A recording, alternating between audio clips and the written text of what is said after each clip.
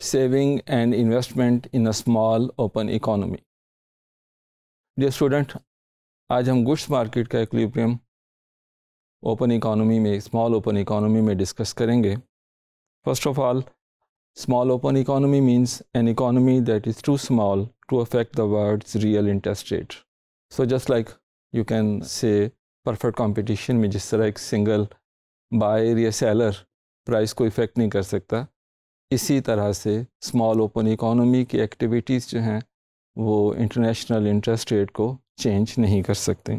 It is too small world real interest rate means the real interest rate that is prevalent in the international capital markets जिस पर कोई भी country कोई भी individual वो बारो कर सकता है या लैंड कर सकता है इंटरनेशनल कैपिटल मार्केट्स में। The key assumption here is that the A resident of small open economy can borrow or lend at the expected world real interest rate. This is the key assumption. इस assumption के तहत closed economy में हमने देखा था कि equilibrium goods market में कब होता है जब डिज़ायर्ड सेविंग और डिज़ायर्ड इन्वेस्टमेंट आपस में इक्वल होते हैं लेकिन आज हम देखेंगे कि ओपन इकोनॉमी में ये गुड्स मार्केट का इक्लिब्रियम कैसे होगा?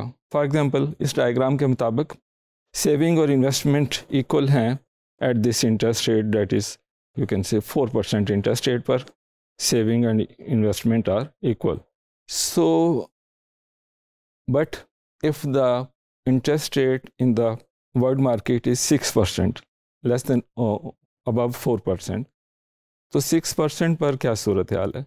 सेविंग है स्मॉल इकोनॉमी में फाइव बिलियन की और इन्वेस्टमेंट है one billion so four billion excess saving है इस स्मॉल इकोनॉमी में at this world interest rate अच्छा इसकी रेलेवेंस क्या है? क्योंकि हमने अज्यूम किया है कि ये वो इंटरेस्ट रेट है वर्ल्ड मार्केट का, जिस पर कोई भी इंडिविजुअल बारो या लैंड कर सकता है।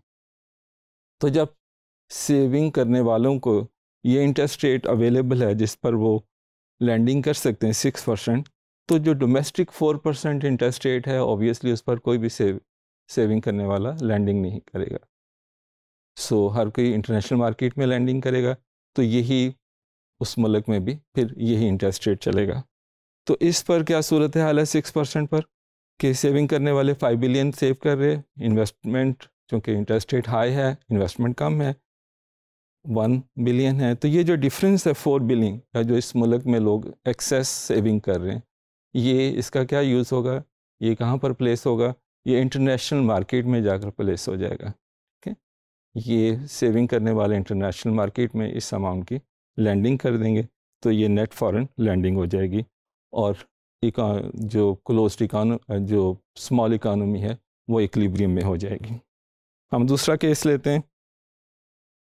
जिसमें इसके रिवर्स सूरत हाल है कि डोमेस्टिक इंटरेस्ट रेट जो इक्लिब्रियम सेविंग और इन्वेस्टमेंट से डिटरमिन हो रहा है, वो फोर परसेंट है, लेकिन इंटरनेशनल इंटरेस्ट रेट जो है वो टू परसेंट है।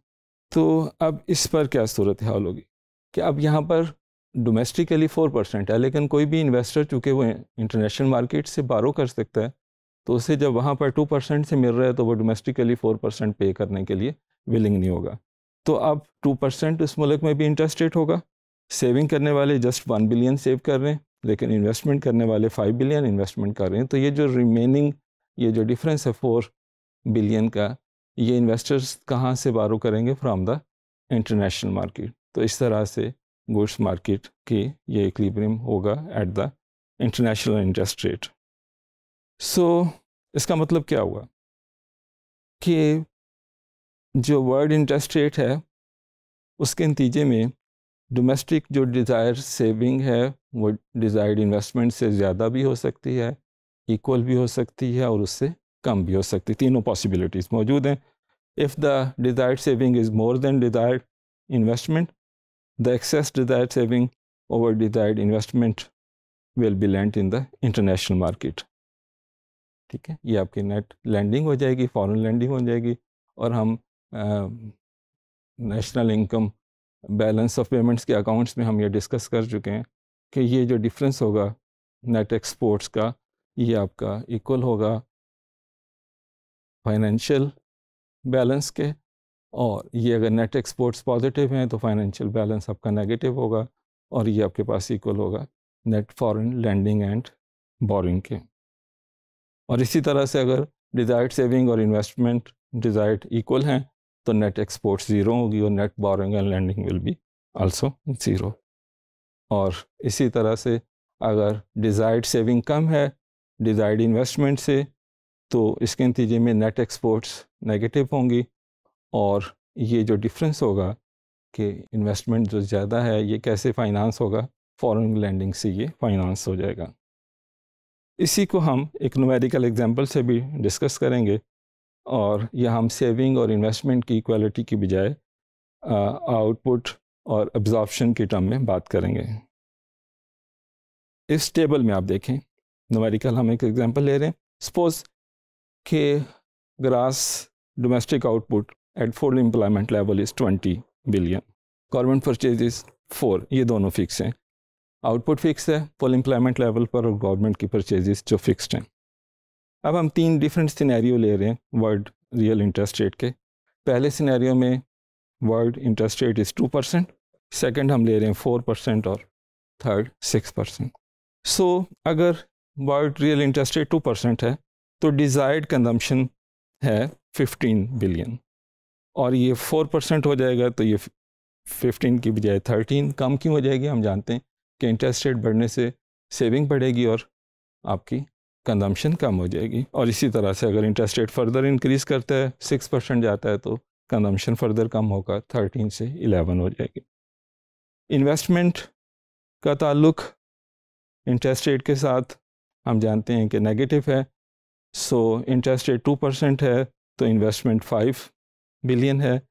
फोर परसेंट होने से वो कम होकर थ्री हो गई, और फर्दर सिक्स परसेंट इंक्रीज जब होती है तो इन्वेस्टमेंट और कम हो जाती है। सो डिज़ायर्ड ऑब्जॉर्प्शन एब्जॉर्प्शन से मुराद क्या है? कि डोमेस्टिकली जो कुछ प्रोड्यूस हो रहा है, वो डोमेस्टिकली कितना ऑब्जॉर्ब हो रहा है? This is equal to desired consumption plus desired investment plus government spending so जब इंटरेस्ट रेट टू परसेंट है इंटरनेशनल तो desired consumption is twenty four कैसे कैलकुलेट हुआ है? कि गवर्नमेंट ये जो हमने four government spending plus consumption desired that is 15 plus investment desired that is 5 so 5 plus 15 plus 4 it makes 24 so 24 is the desired consumption. When interest rate is 2% और इसी तरह से आप कैलकुलेट कर लेंगे, ये जब 4% है तो ये 20 है डिज़ायर्ड कंजम्पशन और जब इंटरेस्ट रेट फर्दर 6% होता है तो ये 16 हो जाती है। सेविंग कैसे कैलकुलेट होगी? सेविंग की डेफिनेशन आपकी करंट इनकम क्या है? उसमें से कितना आपने कंज्यूम कर लिया है? करना चाहते हैं और कितना गवर्नमेंट को आप पे हम एज्यूम कर रहे हैं कि गवर्नमेंट को जो हम पे कर रहे हैं वही एक्चुअली हम टैक्स पे कर रहे हैं जो गवर्नमेंट स्पेंड कर रही है। सो इससे कैलकुलेट करेंगे सो so, आपकी इनकम ट्वेंटी थी उसमें से कंजम्पशन आपने फिफ्टीन माइनस की तो बाकी फाइव रह गए और गवर्नमेंट स्पेंडिंग फोर माइनस की तो वन रह गए। तो इसी तरह से बाकी चीज़ें कैलकुलेट करेंगे बाकी इंटरेस्ट रेट्स के लिए तो ये थ्री और फाइव वैल्यूज़ आ जाएँगी। अब नेट एक्सपोर्ट्स क्या हैं? नेट एक्सपोर्ट्स हैं Y minus desired absorption okay income Y थी और एब्जॉर्प्शन ट्वेंटी फोर है पहले केस में। So twenty minus twenty four so minus four minus four is our net exports okay और यही आपके पास नेट फॉरेन लैंडिंग होगी S T minus I T S D आपके पास वन है और आई डी आपके पास कितनी है? फाइव है तो one minus five minus four ये आपके पास। तो इसी तरह बाकी इस इस केस में आप देखेंगे क्या सूरत हाल है? नेट एक्सपोर्ट ज़ीरो हैं, जब इंटरेस्ट रेट फोर परसेंट है और इसी तरह से सेविंग डिज़ायर्ड सेविंग और डिज़ायर्ड इन्वेस्टमेंट दोनों आपस में इक्वल हैं। दोनों की वैल्यू आप देख रहे हैं थ्री एंड थ्री इक्वल है। और लास्ट सिनेरियो में भी आप इसी तरह से ये कैलकुलेट कर सकते हैं कि नेट एक्सपोर्ट्स फोर है और नेट जो आपकी फॉरेन लैंडिंग है desire that is also four net exports is equal to net foreign lending okay this is equal to your current account balance obviously current account balance हम जब कहते हैं तो इसमें हम ये अज्यूम कर रहे हैं कि नेट फॉरेन पेमेंट्स और net unilateral transfers are zero that's why this is equal to net net exports. Thank you.